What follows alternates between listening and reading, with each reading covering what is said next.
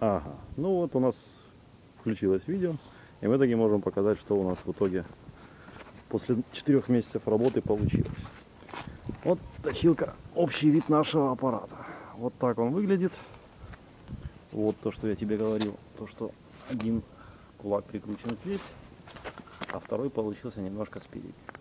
Дальше идет блок аккумуляторов, который мы подключили второй раз, рулевое вместе с шарнирными головками. Дальше наше великое кресло с водной подушечкой, которое я со- сообразил буквально сегодня. Ну и подключение моторного блока. Вон ты видишь, висит контроллер, вот двигатель, колесо с замененной, замененной задней ступой. В качестве, в качестве натяжителя я использовал кусок фрезерованного железа и тот ролик, который шел в комплекте. Примерно вот такое счастье у нас получилось. Аккумуляторы немножко подсаженные, поэтому долго кататься мы сегодня не будем. Вот общий вид нашего агрегата.